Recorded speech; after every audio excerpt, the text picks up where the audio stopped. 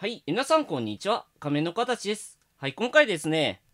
どうやらリボンのおまけがすごいことになってるようなので、買ってきた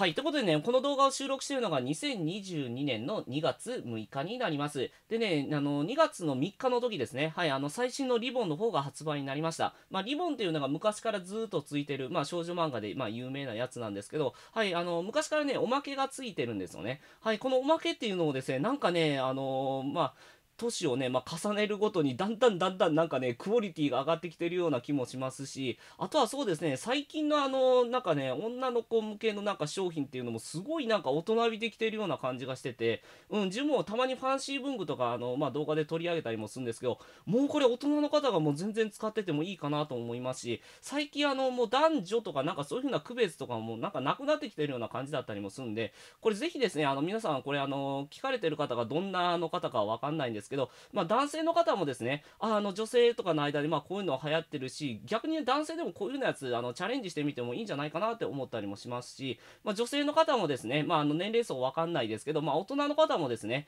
はいあのもう子供向けだってもう決めつけずにですねもうあの幅広い目線でねいろいろ見ていただけると嬉しいなと思います。はいということでねまあいろんな方がいらっしゃいますけど今回の動画もぜひ最後まで見ていただいていいねとチャンネル登録の方を忘れずにしていただけると嬉しいです。ということで今回も最後までお楽しみくださいそれではスタートします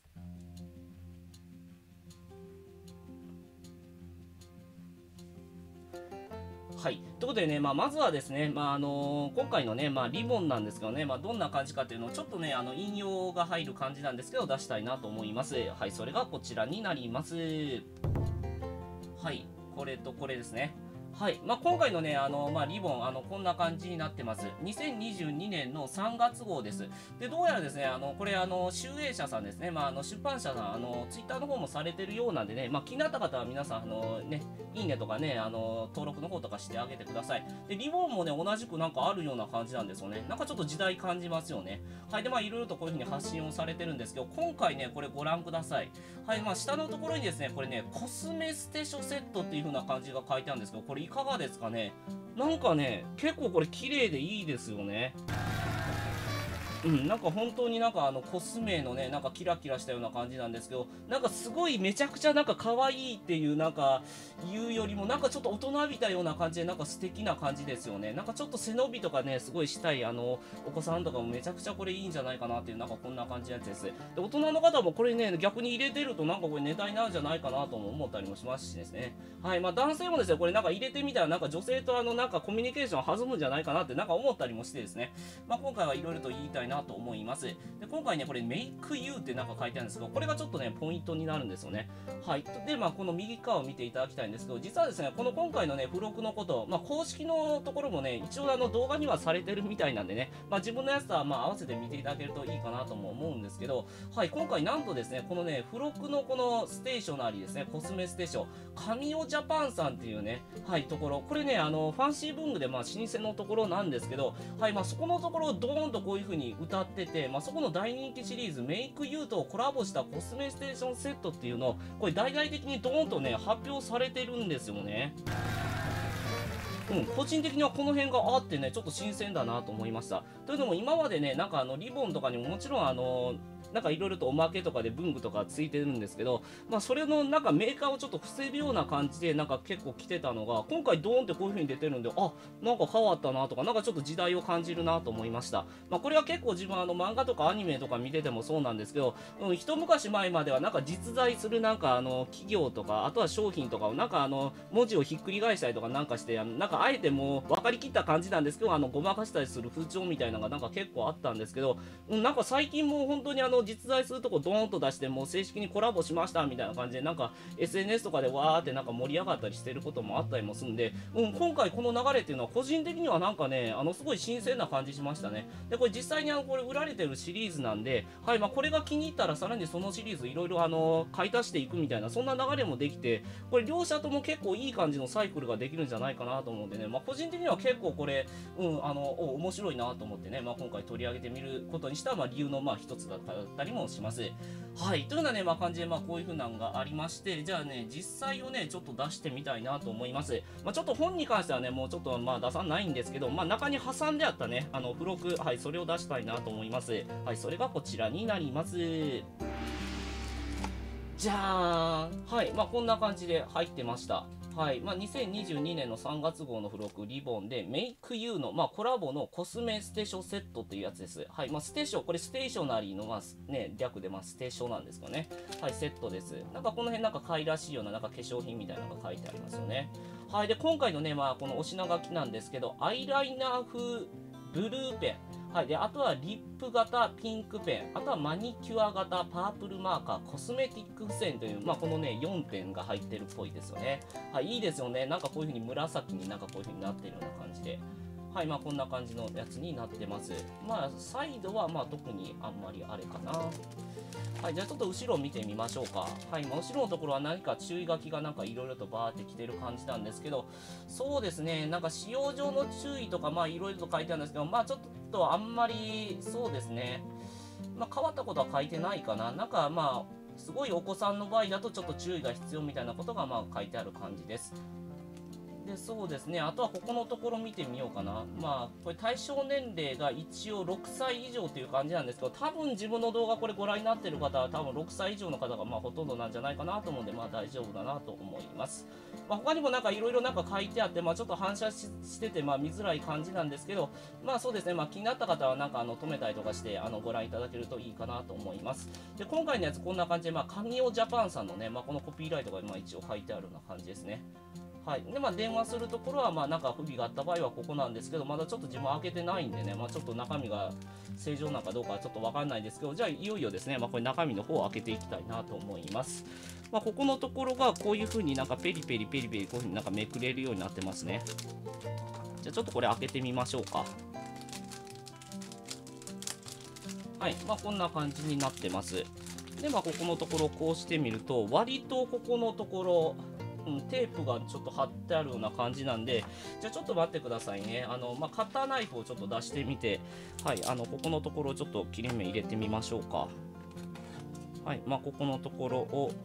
こういう風に切れ目を入れてみたいなと思います。はい。ということで、まあ、切れ目入れてみたんですけど、じゃあ中身の方オープンしてみましょうか。はい。中身こんな感じです。はい、もう商品がこんな感じで4点入ってるような感じですね。はい。でちょっとこれもね、開けてみましょうか。あ、ここのところもなんかついてますね。はい。まあ、ついてる感じなんで、ちょっとこれで切りましょう。で、こっち側に関してもちょっとついてますけど、取れましたね。はい。で、ちょっとここのところ開けてみますね。はい。ペリペリと開けてみると、はい。まあ、今回あの中身こんな感じで入ってました。じゃあちょっとね、これは置いておきましょうか。これはちょっとあのお品書きが書いてあるんでちょっと置いておきまして、まあ、残りの方は横の方に置いておこうかなと思います。じゃあちょっとあの拡大の方をしていきますね、ぐーっと。はい。ということでね、じゃあ今回のね、やつを見ていきたいなと思います。まあ、今回、まあこの4点がまあ入ってる感じなんですけど、はい。アイライナー風ブルーペン、これからいきましょうか。はい、それがまあこちらになります。はい、メイクユーって書いてあって、ここのところなんかインク窓みたいな感じなのがあって、いいですよね。なんかかっこいいですよね。はい、I like the これなんて書いてあるのかな？はい、あの、way, I am, way I am っていう風に書いてあります。はい。ま、私自身の道を行くみたいな、なんか行くのが好きとか、なんかそんな感じなのかな？はい。まあ、あの、ここのところなんですけどね、これね、なんかハッシュタグみたいな感じで、RBN みたいな感じで書いてあるんですけど、これなんだろう？リボン、リボンのなんか略なのかな？はい、まあ、こんな感じのやつになってます。はい。で、ここのところもなんかね、ちょっとあの、コピーライト、神尾ジャパンなんじゃないかな？ちょっとわかんないですけど、なんかこういう風に書かれてます。で、まあ、先端に関してはこんな感じの、まあ、ボールペンになってます。で、なんですけどね、実はですね、自分ね、これのですね、あの、市販品のやつも実は持ってるんですよね。はい、まあ、それがこちらになります。じゃーん。はい、それがこちらになります。まあ、これ前にね、なんか、あ、これかっこよくてセンスのいいやつだなと思って買った感じです。しかも自分の大好きなね、こんな感じの黄色があったんでね、まあ、買ったんですけど、ちょっとですね、今回のやつとね、まあ、これ比べてみると、ちょっと仕様がね、違うような感じなんでね、まあ、そこの点紹介したいなと思います。はい。まあ、下の方が市販品、で、上の方が今回入ってたやつなんですけど、なんか若干ですね、このあのキャップの大きさがまず違うっていうのがあります。で、ここのところにも筋が入ってるんですけど、まあ、それが今回のやつない感じですね。で、なんかちょっと一回りなんか大きいような感じですし、まあ、よく似てるんですけど、ちょっと仕様が違ってるなと思います。で、市販品のやつに関してはこんな感じで、これベンチレーションの穴がここのところ開いてるんですけど、一方ですね、こちら側に関してはちょっとベンチレーションの穴が見当たらない感じです。はい。なんでね、ちょっとこれお子さん、あ、いや、ベンチレーションの穴開いてるかな？いや、これ開いてないのかな？ちょっと、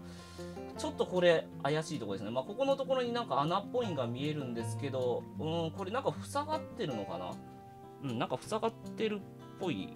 感じがする。うん。塞がってますね。はい。なんで、まあちょっとあの、お子さんがおられる方、これ誤飲するとちょっとあれかなって思ったりもします。これ開けといたらよかったんですよね。はい。で、まあボディはこんな感じで来てます。で、ここのところなんですけど、若干印刷が小さいかな。メイク U がちょっと小さい感じですね。で、逆にあの、こっち側に関しては大きくなってるというふうな、なんかこんな感じの仕様になってます。で、これ素材がちょっとなんか違いますね。あの、まあ、市販のやつに関しては、あの、なんかマット系な感じなんですけど、こっちグロス系な感じの仕上がりになってます。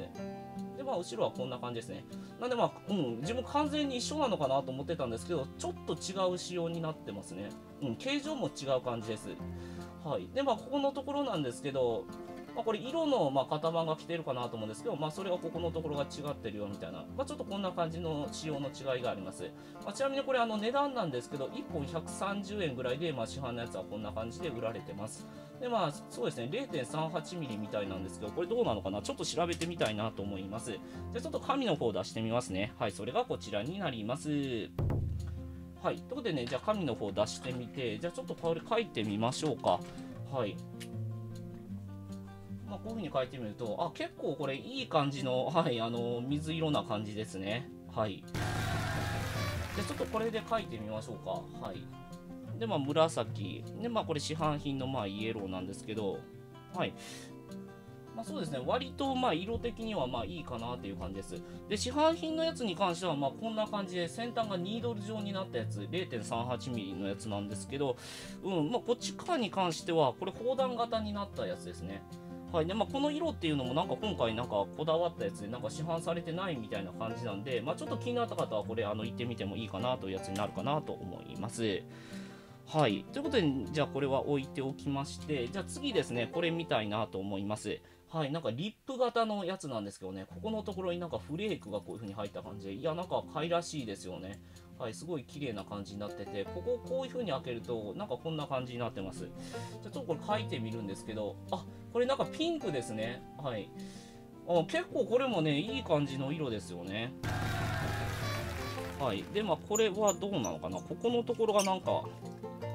一応これひねって、あ、中身なんとこれ変えれるようになってるな。これちょっと驚きですね。はい。まあ、あの、あんまりあの、この分解することはまあ想定されてないかもなんですけど、一応これで、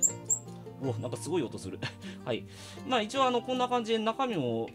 うん、取り替えることできるかなというやつなんでね、これ結構使えるんじゃないでしょうか。割といい感じだなと思いました。メイク U ってこういう風に書いてあって。いや、おしゃれですよね。はい。じゃあ次これ行きましょうか。はい。まあ、これもね、外のところにこうやってなんか、グリッターみたいなやつが入ってて、まあ、ここのところどう書いてあるのかな。はい。メイ Make You with RBN って書いてあってね。はい、まあこんな感じになってます。はい。なんかこんな、なんかあの、ストローをなんか切ったような感じになってるのかな？なんかこんな感じのやつが入ってて、まあ結構綺麗な感じになってます。じゃあこれ開けてみるんですけど、これはマーカーな感じですね。はい、まあ、こんな感じで、はい、蛍光マーカーみたいな、はい、こんな感じになってるんですけど、うん、なんか紫でなんかね、いい感じのやつがこういう風に入ってます。はい、まあ、こんな感じです。で、ラストですね、まあ、こちらですね。はい、メイク U という、まあ、こんな感じで、あの、付箋がこういう風に入ってます。後ろはこんな感じの柄ですね。で、内側なんですけど、こんな感じで書かれてます。はい。まあ、ドレッシングアップ as you like まあ、あなたの好きなように、まあ、ドレッシング、まあ、してくださドレスドレスアップしてくださいいう感じですね。はい、Love me baby、はい、Fall in love, meet RBN みたいな感じでね、なんかいろいろと書かれてますよね。はい。で、まあ、ここのところが、まあ、こんな感じになってます。はい。えっ、ー、と、これどっちからめくるのかな？こっちからこういう風にめくるような感じですね。はい、まあこんな感じで、はい、まあ何枚かこういう風な感じでついてるんですけど、そうですね、まあ、はい、こんだけいろいろついてるような感じになってます。うん、これも素敵なあのカラーリングですよね。もう今回のあのカラーリングにもバッチリなやつなんじゃないかなと思います。はい、というふうな、ね、感じのこんな4点セットがついてる感じなんですけど、まあ、自分があのすでに持ってた、まあ、このペンみたいな感じで、まあ、あのこのシリーズをなんか買い足してみても非常にこんな感じで綺麗になるんじゃないかなと思います。はいまあ、これはちょっと自分、あのまあ、買ったやつなんで、まあ、のけてみると、まあ、今回のやつがこんな感じですね。はい。で、まあ、あの、入ってたやつに関しては、まあ、もう一回見てみるんですけど、まあ、こんな感じです。はい。まあ、アイライナーのやつと、あとは、まあ、リップ型のピンクペンと、あとはマニキュア型のパープルマーカーとコスメティック付箋。はい、まあ、この4点がこんな感じで、はい、まあ、無事に、まあ、自分の場合入ってた感じですね。もしこれらがなんか入ってない場合だと、まあ、先ほどのあの電話のところにま電話するという感じです。じゃあ最後ですね、まあ、これになんか合うコーデですね。はい、まあ、それをちょっとあのー、見てみましょうか。はい、まあ、今回のやつなんですけど、まあ、特徴としては黒にこの紫ですね。はい。で、まあ、若干この銀の要素とかもあったりとか、ちょっとコスメっぽいやつがなんかあったりとかもして、うん、そうですね、これに合うやつ何かなって思うんですけど、うん、ピープス系とかいいんじゃないでしょうか。はい。ということでね、じゃあちょっとね、ピープス系っぽいような、はい、あのー筆箱ですね。はい、それを出したいなと思います。それがこちらになります。じゃーん。はい。まあ、こんなやつどうでしょうか。はい。結構ね、今回のやつなんか合いそうな感じするんですよね。まあ、こんなんとか、まあ、こんなんとか、こんなんとか、いかがですかね。はい。うん、個人的には結構バッチリ合いそうのかなと思うんで、まあ、こういう紫の要素、黒い要素、あとはまあ、ちょっとこのシルバー的なやつが入ったような、はい、まあ、こういう風なやつ、あの、かなり合うんじゃないかなと思います。で、あとはそうですね、これになんかシルバーアクセみたいな、なんかこういうのとかをこういう風にやってみるとか、はい、まあ、ちょっとかっこいい方向に、まあ、ちょっと寄ったりもするんで、まあ、そうですね、このピンクのペンがどうかなっていうところなんですけどね、うん、まあ、あの、おしゃれで、なんかそういう風なかっこよさも求めるような、なんかあの、そういう風なコーデに、まあいいんじゃないかなって思ったりもします。あとはそうですね、これ、ピープス系とは違う路線で合いそうなやつは、これもいいかな。はい。まあちょっと出したいなと思います。じゃあ、はい。マリー・クワント。はいまあ、これもあの、まあ、化粧品とか、まあ、中心にいろいろとされてるところなんですけど、まあ、マリクワとも結構合いそうな感じしますね。まあ、パイロットさんとも実はまあコラボとかしてて、まあ、こういうのとかも合うかなとも思いますし、あとはそうですね、まあ、中のようにあのメンズとかからなんかいろいろと、まあ、こんなドクターグリップどうとかなんかね、あの、あるかもしれないんですけどね、まあ、こういうふうな感じでパイロット製品とこういうふうに合わせてみたりとか、まあ、こういうのも結構綺麗なんじゃないかなって個人的には思ったりもします。はい。あとはそうですね、まあ、最近アナスイとのコラボとかもね、なんかあのされてたんですけど、まあ、こういう風な世界観とも結構合うんじゃないかな。うん。まあ、こういうのとかですね。はい。まあ、結構合いそうな予感が個人的にする感じです。あとはそうですね、まあ、個人的に最近あの、まあ、アニメで好きで見てるやつでね、まあ、こういうのがあるんですよね。じゃあちょっとこれもあの引用で出したいんですけど、こちらになります。じゃーんはい。テレビアニメ。その、これ、着せ替え人形と書いて、はい、これあの、ビスクドールって読む感じです。はい、ビスクドールは恋をするっていう感じでね。まあ、これ結構ね、個人的にあの、面白いやつなんですよね。はい、あの、まあ、ご覧になってない方お勧めしたいなと思います。ただ、ちょっとセクシーシーンがね、ちょっとあったりとかもするんで、あの、18期まではいかないと思うんですけどね。はい、あの、まあ、その辺ちょっとあのね、あの、ちょっと年齢制限があるかもしれないんで、まあ、気になった方は、まあ、見たらいいんじゃないかなっていう感じです。でね、ここのところでね、まあ、この主人公のこのね、女の子が、まあ、コスプレしてなんかこんな感じの姿になんですけど、ちょっとこういう風な世界観も今回のやつになんか合うんじゃないかなという感じですね。これどう言ったらいいのかな？なんかそうですね、なんかゴシック的なロリータ、まあ、パンクまでは入らないかなと思うんですけど、まあ筆箱的にちょっと自分持ってるやつでこういうのいいかな？じゃあ、はい、まあこんな感じでね、ちょっとフリフリ系のやつもね、まあ自分もちょっと研究でこれまあなんか買ってみたんですけど、これちょうどなんかそのメイクとかコスメとか入れるにまあ適したポーチみたいな感じなんですけど、いや、今回のやつとか、まあ、あの、まあさっき合わせたようなやつが、これ入れてみると、いや、これバッチリなんか合いそうな、はい、感じしますよね。はい、まあ、こんな感じでですね、もうおしゃかわな感じでね、はい、あの、皆さんもあの、ちょっとコーデの方ね、はい、あの、してみても楽しいんじゃないかなと思います。まあ、男性の方もね、まあ、筆箱ぐらい、まあね、あの、カバンの中なんで、まあ、そんなにあの、恥ずかしいという方もね、はい、あの、見られずに、あの、ひっそりこういう風なの楽しめるかもしれないですし、うん、男性もね、個人的にはどんどんどんどんなんかこういう風にバーってやっていってね、コミュニケーションを取っていくとね、いいような気もしますしね、それが素敵な出会いとかにつながると思うんですよね。あとはまあこんな感じかもですね。まあこれあのカンガルーのケースなんですけど、はい、あの亀の子私の K とかでもあか、まあこういうのあのチャームとかもこういう風につけてみてもいかがですかね。はい、めちゃあの綺麗な感じになるかなと思います。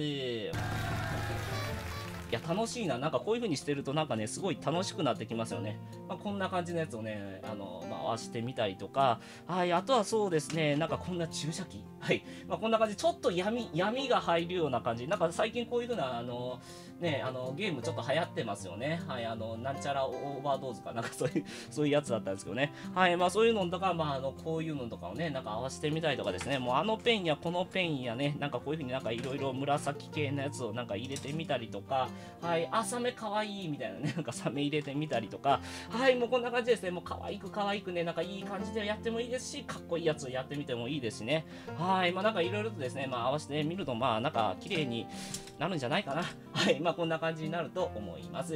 はい、というような感じでね、まあ結構こんな感じでね、筆箱でもはかどりそうな、あの、非常に素敵な、あのね、おまけのやつが出たんでね、まあぜひ皆さん、あの、これ1ヶ月後はまた多分ね、あの、もう新しい号になってもう手に入らなくなるんで、お早めにあの、買っていただけるといいかなと思います。はい、2022年の3月号、これが2022年の2月3日から発売になってます。で、リボンですね。はい。ということでね、まあ、ぜひですね、まあ、620円税込み価格なんで、そんなに高くなくこんだけ入ってるというのは、これかなりあの、お値打ちなんじゃないかなと思うんで、まあ、ぜひですね、まあ、この機会に皆さん、あの、買ってみてもいいと思いますし、こんな感じのコーデチャレンジしてみてもいいんじゃないかなと思いました。はい。ということで、まあ、今回の動画はこれで終わりにしたいなと思います。この動画が良かった、参考になった、楽しかったという方は、ぜひ、グッドボタンを、で、チャンネル登録の方もよろしくお願いします。で、他にもですね、いろいろ面白い動画とかアップしたりしてるんで、見ていただけると嬉しいです。ということで、今回もありがとうございました。バイバーイ